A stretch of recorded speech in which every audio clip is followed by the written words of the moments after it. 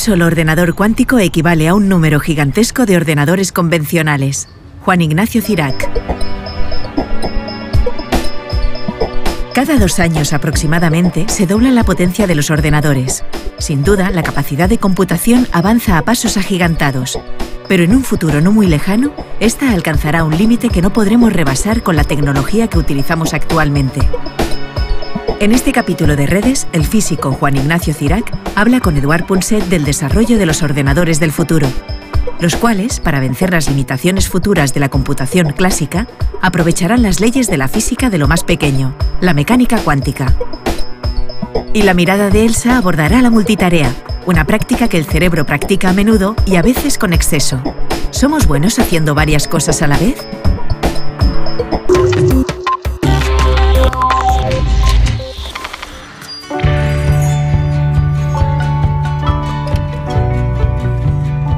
En el programa de hoy vamos a hablar de la teoría cuántica de la información y vamos a hacerlo, tenemos la, la, la enorme suerte de hacerlo con Ignacio Cirac. Es director de la Theory Division del Max Planck Institute, ¿no? Uh -huh. en, en Múnich. Sí. Oye, estamos tan nubilados con este tema de, de la información cuántica que a veces tenemos la impresión de que este va a ser el futuro, uh, que está al lado, y luego hablamos con vosotros y nos decís, oye, no, está todavía lejos. Bueno, un día u otro se tenía que acabar la historia de los ordenadores. Y, y hemos agotado, estamos a punto de agotar la información que puede tratar un ordenador y por eso recurrimos a gente como vosotros, a los grandes especialistas de la física cuántica. Primero, ¿es cierto uh, que, se hayan agotado lo, los ordenadores normales? Uh, ¿Es cierto, segundo, que vosotros nos estáis preparando la sucesión o estáis preparando otra cosa totalmente distinta? Bueno, pues vamos por partes. En primer lugar, Todavía no hemos llegado a explotar completamente los ordenadores y a llegar al límite de la potencia de los ordenadores, pero no nos queda mucho tiempo. Si miramos qué es lo que ha pasado durante los últimos 30 años, nos damos cuenta de que los ordenadores cada vez son más rápidos y son más potentes. Y la razón es muy sencilla, es porque podemos hacer los procesadores y los transistores y todos los equipos que están detrás de los cálculos que hace un ordenador más pequeños. Al hacerlos más pequeños, podemos almacenar más información en el mismo espacio. Y por otro lado, al hacer más pequeños, hacemos que sean más rápidos. Y la razón es porque la información que está dentro de un ordenador la transmiten unas partículas, que llamamos electrones, y si son más pequeños tienen que recorrer menos espacio, por lo tanto va más rápido. Así que hacer las cosas más pequeñas es lo que nos ha permitido hacer que vayan más rápido, almacenar más información. Y hacer más. Y hacer más. Pero claro, eso tiene un límite, no podemos hacer algo infinitamente pequeño. De hecho, cuando lleguemos a tener que almacenar los bits que almacenan la información en un solo átomo, pues ahí estaremos llegando al límite. Y si uno mira hacia atrás y ve cómo ha progresado todo este desarrollo, pues se da cuenta que para eso faltan del orden de 10, 15, 20 años. Máximo. Y cuando lleguemos ahí, pues hay una, tenemos, no, no podremos utilizar pues, los ordenadores como los utilizamos ¿no? hoy en día. Y ahí es donde llegamos nosotros, los científicos que trabajamos en la, en la, computación cuántica o en la información cuántica. Y lo que venimos a decir es que cuando lleguemos a ese límite, eso no será un problema, sino todo lo contrario, será una ventaja. Cuando llegamos al límite del átomo, las leyes de la naturaleza cambian. Las leyes de la física cuántica, que es una teoría que describe el mundo, mundo microscópico, se ponen en marcha y son extraordinarias. Nos permiten hacer cosas extraordinarias, cosas que parecen más bien sacadas de una película de ciencia ficción. Y lo que estamos estudiando es cómo aprovechar esas leyes de la física cuántica, no solo para poder seguir haciendo que los ordenadores vayan más rápido, sino para que vayan muchísimo más rápido y se puedan hacer cálculos que de otra forma serían imposibles. Cocinar, barrer, poner la lavadora, todo a la vez. Poder realizar todas estas tareas al mismo tiempo sería el sueño de muchos de nosotros ahorraríamos muchísimo tiempo. Por desgracia, nosotros no podemos estar en diferentes estados simultáneamente. Sin embargo, si viajamos al mundo microscópico, nos encontramos con la sorpresa de que las partículas cuánticas, como los fotones, los electrones o los átomos aislados, sí tienen esta capacidad. Imaginemos por un momento que una de estas partículas cuánticas es una pelota en un campo de fútbol. Según las leyes de la mecánica cuántica, esta partícula se encuentra en muchos estados a la vez, por ejemplo, en muchas posiciones de forma simultánea. Sin embargo, cuando la miramos solo la vemos en una de estas posiciones. Si dejamos de observarla, vuelve a estar en diferentes posiciones al mismo tiempo. Y si volviéramos a observarla de nuevo, la encontraríamos en otra posición distinta de la anterior. Los ordenadores cuánticos son capaces de aprovechar esta sorprendente propiedad de las partículas. Gracias a que sus componentes pueden estar en muchos estados simultáneamente, estos ordenadores son capaces de realizar multitud de operaciones a la vez en el tiempo que una máquina convencional invierte en hacer una única operación. Oye, Ignacio, una, cosa. Mm, déjame eh, intentar entender un poco en, qué medida la, digamos, la información cuántica mm, obedece a, sus propias leyes, que son totalmente distintas de las leyes a las que estamos acostumbrados, de, una mesa y de, y de, unas sillas. ¿no? Vamos a ver, en, un ordenador ah, tengo entendido que hay una especie de de instrumento de lectura, escritura, que es el que os permite, gracias a estos cuadraditos en donde hay un 1, un 0, un 1, un 0, esto os permite dar las instrucciones necesarias para hacer un programa. Este es el ordenador, digamos, tradicional. Pero lo que me estás tú sugiriendo, que será tan fascinante, porque os transforma las leyes y el mundo que viene, es que, bueno, ah, en los computadores cuánticos, ¿qué es lo que ocurre exactamente? Que en lugar de 1 y 0 en otro cuadradito, el, 1 y 0 conviven en el mismo cuadradito. ¿Qué es, ¿Qué es lo que pasa exactamente? Sí, pues, pues algo así, aunque parezca muy raro y a uno que lo escucha la primera vez le va a sonar muy, muy raro. Eso es precisamente lo que le da la potencia a los ordenadores cuánticos y, en definitiva, a la física cuántica. Si miramos los ordenadores usuales, los que tenemos hoy en día, como has dicho muy bien, la información se almacena y se procesa en términos de lo que llamamos los bits, ceros y unos. Si tú quieres, cuando haces la declaración de la renta y tienes que poner alguna cantidad, pues eso el ordenador lo almacena en términos de ceros y unos, en, binario. ¿Y, estos son lo que llamamos los bits, los bits de información, en los cuales almacenamos pues, la información y luego la recibimos. Pues bien, esos son pequeños objetos que pueden tomar dos valores, 0 y 1, y es así como funcionan los ordenadores usuales. En la física cuántica, cuando nos vamos al mundo microscópico y queremos almacenar el 0 y el 1 en, en, un átomo, pues resulta que además de tener la posibilidad de tener 0 y 1, tenemos otras posibilidades que es tener los dos a la vez. En un solo átomo podemos tener a la vez 0 y 1. Y esto es una propiedad de la física cuántica que solo la observamos en el mundo microscópico, pero que está muy bien entendida por los físicos. Es lo que llamamos las superposiciones. Una misma partícula puede hacer dos cosas a la vez, puede estar en cero y en uno.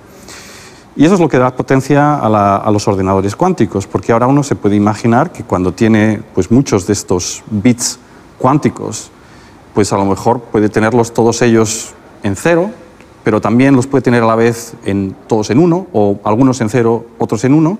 Por lo tanto, puede hacer cálculos en paralelo, digamos, en cada uno de estos, de estos los llamamos a veces universos, ¿no? en los que están todos ceros o cero, uno, etcétera, etcétera, se puede hacer un cálculo, así que teniendo un solo ordenador es como si tuviésemos millones y millones y millones de ordenadores a la vez, y esto es lo que le da potencia precisamente. ¿Tiene algo que ver esto con lo que llamábamos entanglement o, entrelazamiento, en que un átomo puede estar en distintos hemisferios a la vez o, es algo totalmente distinto? El entrelazamiento es una consecuencia de este principio de superposición y es algo que juega un papel muy importante dentro de la información cuántica. Y el entrelazamiento lo que nos viene a decir es que podemos tener dos partículas, dos átomos, por ejemplo, que estén en lugares completamente distintos, que no se comuniquen entre ellos, aislados, pero que se comporten de una manera eh, que llamamos correlacionada. Déjame dar un, ejemplo de esto. Imagínate que tú tienes un dado y tiras el dado aquí y tienes un resultado, pues el resultado sabemos muy bien que mm, será típicamente aleatorio. A veces el 1, a veces el 3, a veces el 6. Y ahora imagínate que te vas a otro sitio, a Nueva York, o que a la vez otra persona en Nueva York tira otro dado. Bueno, pues allí el dado será, dará un resultado aleatorio. Bueno, pues de acuerdo con las, de las leyes, con las leyes de la física cuántica, es posible tener dados microscópicos en los cuales cada vez que tiremos un dado aquí, obtendremos un resultado aleatorio. Pero si tiramos a la vez otro en el otro lado, tenemos exactamente el mismo resultado. Si aquí tiro y obtengo el 3, aquí tiro y obtengo el 3. Es decir, son resultados aleatorios, pero completamente correlacionados. Y esto está, está relacionado con estas superposiciones de las que he hablado anteriormente y básicamente nos dice que podemos tener estos estados, estos, estos bits, ahora que serían estos dados, serían como los bits pero con seis valores posibles, en los cuales tenemos a la vez el, el resultado 1, 1, el resultado 2, 2, el resultado 3, 3, el resultado 4, 4, y estos están viviendo simultáneamente, están como en paralelo, y cuando observamos obtenemos uno de los resultados, pero siempre, está siempre correlacionado. La enorme capacidad de computación de los ordenadores cuánticos puede poner en jaque el sistema actual de encriptación de los datos confidenciales que circulan por Internet, basado en tediosas operaciones que requieren mucho tiempo de cálculo para los ordenadores actuales.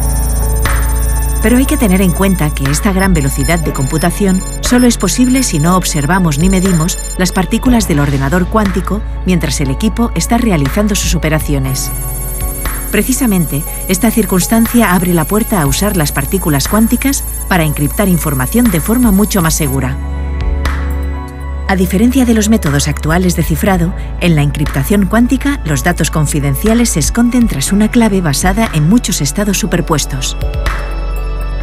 Si un espía tratase de interceptar el mensaje, solo vería uno de los estados y le sería imposible descifrar esta clave. Así pues, la encriptación cuántica podría llegar a ser mucho más segura que la que utilizamos hoy en día. Desarrollar una tecnología que nos permita aprovechar la superposición cuántica de estados sin que la observemos ni la midamos es uno de los grandes retos de la ciencia moderna.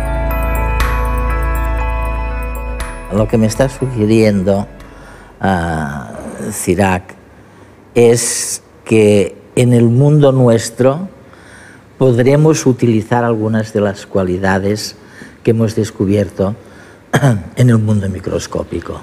¿No? Eso, eso es lo que me está sugiriendo y eso es lo que va a suponer un cambio revolucionario en el mundo, en la visión, en la percepción del mundo a que estamos acostumbrados. Fíjate, yo he hablado muchísimo con, con, evolucionistas, eh, eh, genetistas, eh, biólogos, y, más o menos hay el sentimiento de que, bueno, hubo el aprendizaje agrícola primero, después de esto ah, aprendimos cantidad de cosas que nos enseñaron realmente los animales. Luego vino la máquina de vapor, digamos, que fue el gran salto adelante, que, que nos metió de lleno en, la revolución industrial. Y luego vino este computador que miras con, con, gran apego por un lado, pero por otro con cierto recelo. Ah, y, este computador electrónico dio cauce a la revolución informativa, o sea, nos permitió realmente entrar de lleno ah, en un mundo de la información. Oye, ¿El próximo salto adelante va a ser el vuestro? Bueno, no sé si será el próximo o el siguiente, ¿no? porque todavía falta mucho tiempo. Pero sí, sí, lo que estamos haciendo ahora, si lo relaciono con lo que acabas de decir, es estamos intentando domesticar los átomos y las moléculas y los fotones, las partículas microscópicas. Y estamos dando los primeros pasos, ya somos capaces de, de realmente de pararlos, observarlos, aislarlos verificar que todas las propiedades que predice la física cuántica son correctas y ahora estamos empezando a construir con ellos algo y si logramos mm, ponerlo en marcha, algo que, estamos intentando pero que va a tardar un tiempo y lo llegamos a domesticar, pues yo creo que eso va a dar lugar a una revolución en, por lo menos en el campo de la, del procesamiento y la transmisión de información. Nos ofrece unas nuevas formas. que es casi todo. ¿eh? Sí, bueno, nos, nos ofrece una nueva manera de, de, tratar datos, una nueva manera de procesarlos, una nueva manera de enviarlos, ¿no? de transmitirlos, y yo creo que eso sí que puede dar lugar a una revolución. Oye, otra revolución paralela en la que también estás. O sea, tú no solo te dedicas a, a, los ordenadores, estos que pueden tratar mil cosas, sino a una historia que llamáis simuladores. Uh, ¿qué, ¿Qué quieres?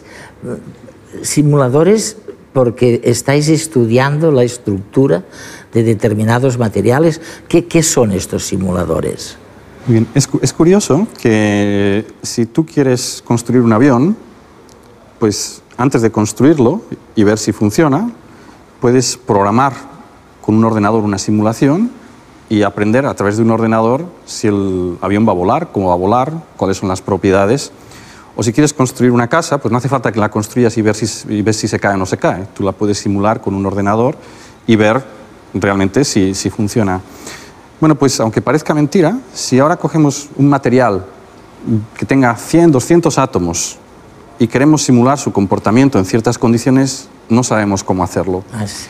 O sea, cosas que están formadas por muchos, muchos átomos, las podemos simular muy bien. El tiempo, la meteorología, cómo se mueven las nubes. Sin embargo, estos, estos, estos sistemas de 20, 100, 200 átomos, no sabemos cómo simularlos. Y la razón es que cumplen las leyes de la física cuántica y las leyes de física cuántica son muy difíciles de simular con ordenadores. De hecho, Richard Feynman es el primero que se dio cuenta de, de esta propiedad de, las, de la física De la cuántica física y es el primero que empezó a pensar en los ordenadores cuánticos para resolver estos problemas. Entonces, una po- posibilidad para poder simular estos problemas, cómo se comportan los materiales a bajas temperaturas, cómo se comportan, cómo transmiten la electricidad, cómo transmiten el calor, etcétera, etcétera, es utilizar un ordenador cuántico. Y un ordenador cuántico puede hacer estas simulaciones o podría hacer estas simulaciones. Lo que ocurre es que no tenemos todavía ninguno y todavía falta mucho tiempo para que podamos construir uno de ellos. Pues bien, un simulador cuántico sería un sucedáneo de un ordenador cuántico, sería algo que no es tan difícil de construir como un ordenador cuántico, pero que sería capaz de simular estos materiales o este conjunto de átomos, de ver qué es lo que va a pasar si los ponemos juntos. Y por eso es lo que estamos intentando construir, porque es una, una investigación que tiene aplicaciones a más corto plazo.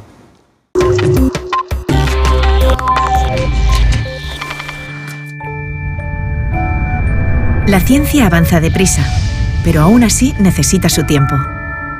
Lo que hemos aprendido en física cuántica durante los últimos años responde a ideas que se gestaron a principios del siglo pasado gracias a científicos como Albert Einstein, Niels Bohr o Werner Heisenberg.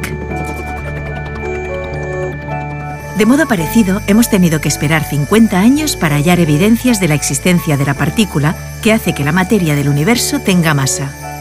Esta partícula es el famoso bosón de Higgs. El enorme trabajo multidisciplinar desempeñado durante este tiempo para dar con dicha partícula ha valido el Premio Príncipe de Asturias de Investigación Científica y Técnica de 2013 a Peter Higgs, François Englert y a todo el CERN. Con motivo del galardón, el mismo Juan Ignacio Cirac explica qué supone este hallazgo para la física. Ahora sabemos, a través de lo que se llama el modelo estándar, que existen dos tipos de partículas. Las partículas que forman la materia, las partículas de materia, y las, partícul- las partículas que describen cómo las fuerzas aparecen entre las partículas de materia. Es lo que llamamos las partículas de fuerza.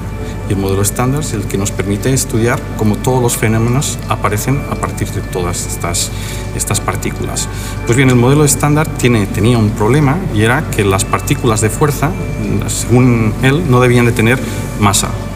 Y bueno, pues esto es lo que precisamente soluciona los el bosón de Higgs. El bosón de Higgs permite introducir la masa en las partículas de fuerza y también algunas de las partículas de materia. Y una forma de entenderlo es a través de una analogía muy simple. ¿no? El, el bosón de Higgs es, son partículas que están en todas partes, incluso en el vacío, incluso cuando vaciamos y quitamos todas las partículas, allí siempre quedan estos, estos bosones de Higgs y actúan de una manera como una melaza, una melaza de tal forma que cuando estas partículas de fuerza de materia se mueven en ella, pues impiden el movi- movimiento y eso es lo que hace que se comparten como si tuviesen masa.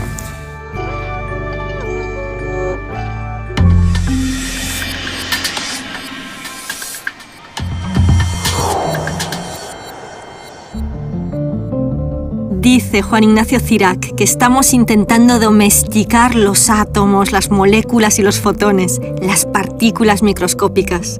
Resulta fascinante asomarse a las propiedades del mundo microscópico. Una de ellas es la superposición, es decir, que una misma partícula puede hacer dos cosas a la vez. A nuestra escala humana, ¿qué nos sugiere esta capacidad? ¿Se te da bien hacer varias cosas a la vez, es decir, el multitasking? ¿Lo haces por obligación o porque te gusta distraerte?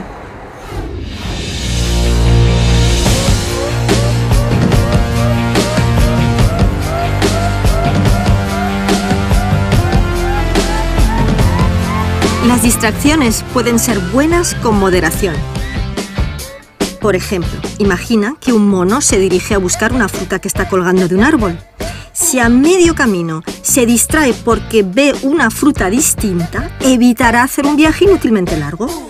Las distracciones también nos permiten abrirnos a retos y a metas nuevas. Y por supuesto, las distracciones también nos ofrecen una vía de escape a las preocupaciones diarias que a veces nos atosigan. Pero cuidado, el multitasking implica obligar a la mente a cambiar de objetivo muy deprisa. Esto es estresante para el cerebro y malgasta mucha energía. Conectar y desconectar constantemente nos agota, aunque el tip de entrada de este nuevo correo electrónico produzca placer porque activa el área de recompensa del cerebro, que espera que tal vez ese correo sea una buena noticia.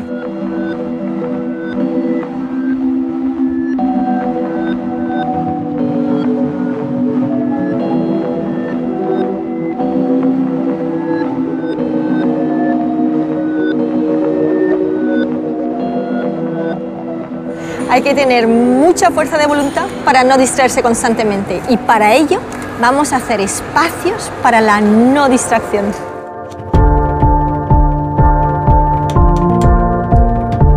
Sabemos que las experiencias más placenteras son las que nos absorben en cuerpo y mente, las que no están contaminadas por preocupaciones o distracciones constantes. Por ejemplo, cuando tocas un instrumento, cuando conduces disfrutando de la carretera o cuando haces algo tan sencillo como fregar los platos, lavarte los dientes o pelar una manzana.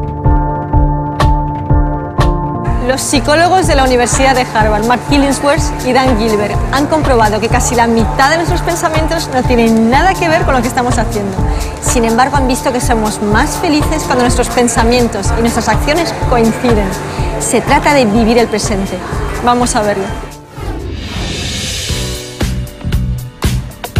¿Qué estás haciendo? ¿Trabajando? ¿En qué estabas pensando tú ahora mismo? En mi hija.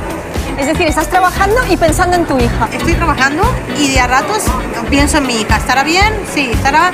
O pasa alguien, digo, a ver si viene, a ver si no viene. Estamos preguntando a la gente, bueno, ¿qué estás haciendo? Trabajando, intentando vender hawaianas. ¿Pero en qué estás pensando? Uy, ahora mismo en todo. En lo que tengo que comprar, en cosas que tengo que hacer, en qué voy a hacer este fin de semana. Y estoy pensando en irme de Barcelona. Ah, trabajar en el campo. así que no tenías la cabeza aquí. No. ¿Y usted qué está haciendo ahora mismo? Yo estoy comiendo un helado. ¿Y en qué está pensando? La felicidad de comer un helado, ¿qué? Así que se está centrando en el helado. ¿Qué estaba haciendo? Pues Sí. mira, estaba contemplando esta maravilla. Que Sí, que es bonito, la verdad es que es precioso. Sí, sí. ¿Y en qué estabas pensando? Que realmente tenemos mucha suerte de poder disfrutar de este espacio aquí en- Es decir, te estabas centrando en lo que estabas sí. haciendo. Y es que cuando te concentras en una tarea concreta, si logras terminarla, sientes satisfacción. Y si encima te ha costado esfuerzo, tendrás una inyección adicional de endorfinas que contribuyen a ese estado de bienestar positivo. Esta es la experiencia que los psicólogos denominan fluir. ¿Qué es el fluir? La experiencia de fluir se refiere a esos momentos en los que estás concentrado en una actividad hasta el punto de olvidarte de todo lo demás. ¿Cómo puedes conseguirlo? Para experimentar el estado de fluir, nada mejor que marcarte una meta clara y concreta, como hacer ejercicio. Apunta ese objetivo claro en un lugar visible. Cuando corras, hazlo centrado solo en esa actividad. Siente cómo late tu corazón. Déjate invadir por la sensación de los pies rebotando sobre el suelo. Céntrate en disfrutar y sentir lo que haces en ese momento. Si te vienen otros pensamientos, no los rechaces activamente. Simplemente devuelve tranquilamente tu atención a tu meta concreta. Ponle nota al reto que te estás marcando. Ni demasiado fácil porque te aburrirías, ni demasiado difícil porque te estresarás y frustrarás si no lo consigues. Puedes ir revisando tu meta y ajustando la nota de vez en cuando a medida que mejores. Busca un cómplice.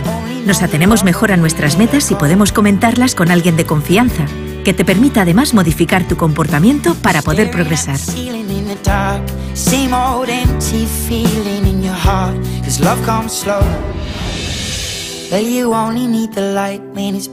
Recuerda que la finalidad que buscamos no es solo hacer ejercicio, sino hacer ejercicio sin distraerte, buscando ese sentimiento de concentración y plenitud que llamamos fluir. Cuando estés acostumbrado a sentirlo, podrás practicar trasladándolo a otros ámbitos de tu vida. Disfrutarás más de cada momento. No es magia, es inteligencia emocional.